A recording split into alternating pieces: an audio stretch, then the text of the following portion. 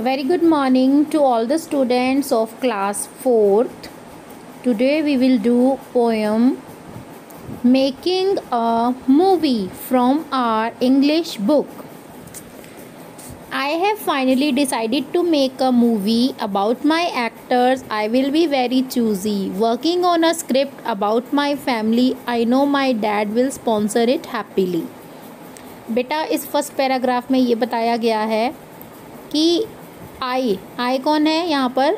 जो पोयम गा रहा है। ओके पोएट कवि। कवि क्या कह रहा है? कि मैंने ये डिसाइड कर लिया है कि मैं एक मूवी बनाऊँगा, एक फ़िल्म बनाऊँगा। और अगर मैं एक्टर्स की बात करूँ तो मैं बहुत चूज़ी हूँ। मतलब मैं देख के अच्छे से चुन कर अपनी इस मूवी में एक्टर्स रखूँगा। और अगर मैं स्क्रिप्ट की बात करूँ, कहानी की बात करूँ कहानी होगी मेरे परिवार पर। मैं जानता हूँ मेरे पिताजी इसे बहुत अच्छे से स्पॉन्सर कर देंगे। स्पॉन्सर मतलब कि इस पर पैसे वगैरह लगा देंगे मनी खर्च करने के लिए दे देंगे।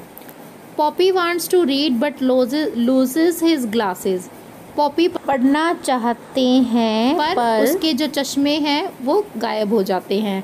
I get new ideas as each day passes मेरे मेरे दिमाग में नए नए विचार आते हैं जैसे जैसे दिन गुजरता है। Granny likes to cook but burns the dishes अब जो ग्रैनी है, नानी है, वो क्या करती है? उसको पसंद है खाना पकाना, पर वो हमेशा डिशेस जला देती है। All actors will act as the director wishes सारे एक्टर बिल्कुल वैसे ही काम करेंगे, जैसा कि मैं डायरेक्टर चाहूँगा। I will find a tall man to play my uncle's character मैं चाहूँगा कि एक लंबा आदमी मुझे मिले जो कि मेरे अंकल का करेक्टर प्ले करे। For my brother's part I need a dynamic actor और मेरे भाई के पार्ट के लिए मुझे एक डायनामिक एक्टर चाहिए। एक डैशिंग सा दिखने वाला स्मार्ट सा दिखने वाला जो कि मेरे भाई का रोल प्ले करे। A funny old man for my poppy's role और मेरे पॉपी के रोल के लिए मुझे एक बुज़ुर्ग सा पॉपी कौन है? नाना जी। ठीक है? या दादाजी भी हो सकते हैं। उनके लिए मुझे एक मजाकिया सा बुज़ुर्ग व्यक्ति चाहिए। And a stunning actress to reflect mama's को सोल और मम्मा का रोल प्ले करने के लिए एक मुझे स्टनिंग एक्ट्रेस चाहिए, बहुत ही ब्यूटीफुल सी स्मार्ट सी एक्ट्रेस चाहिए हीरोइन चाहिए। Mama will give me a handy cam mummy मुझे हैंडी दिला देंगे। The dialogues I write the actors will cram और जो मैं डायलॉग्स लिखूँगा जो मैं लिखूँगा कि क्या बोलना है, वो सारे के सारे एक्टर रट लेंगे।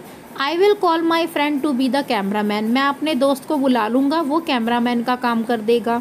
During breaks we will rest in the vanity van और जब ब्रेक होगा, जब हम काम नहीं कर रहे होंगे तो हम वैनिटी वैन में आराम करेंगे। वैनिटी वैन क्या होती है? वैनिटी वैन ना एक वैन होती है जो कि अंदर से बिल्कुल घर की तरह दिखती है। उसमें सब कुछ बना हुआ होता है। एक्टर्स फ़िल्म स्टार लोग उसमें बैठकर आराम करते हैं जब उनका काम नहीं हो रहा होता या ब्रेक मिलती है उनको।